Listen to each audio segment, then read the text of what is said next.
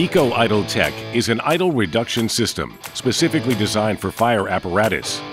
The system shuts off the main engine at emergency scenes while maintaining power to all the 12 volt functions.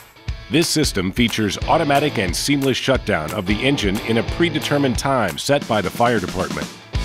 To engage, simply put the transmission in neutral, set the parking brake, and forget about it.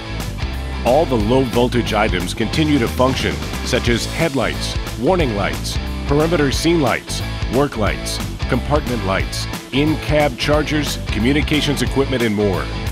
With the air conditioning option, cool air continues to blow even after the engine shuts down. Eco Idle Tec reduces unnecessary idle time on the scene and produces zero noise.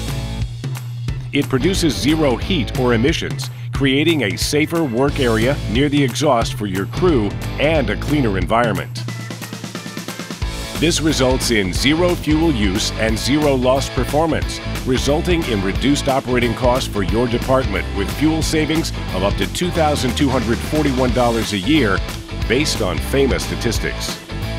Or a total savings of more than $50,000 over the lifetime of an apparatus when considering savings from fuel, oil, engine repair, DPF regeneration, and DPF service.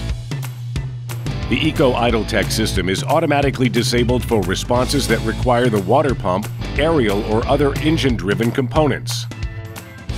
For long events, the Eco Idle Tec system will restart the engine to replenish the lithium battery system.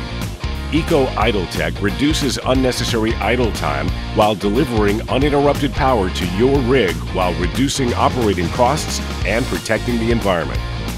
Find out more by contacting your REV apparatus dealer today.